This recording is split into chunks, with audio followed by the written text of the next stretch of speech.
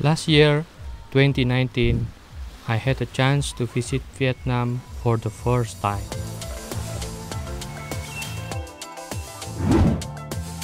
It was a beautiful country. I came for company visiting and business meeting with my business partner and clients.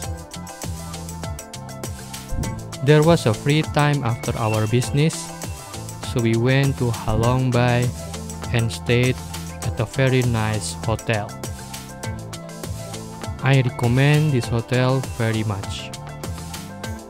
The hotel name is Moon Bay Hotel.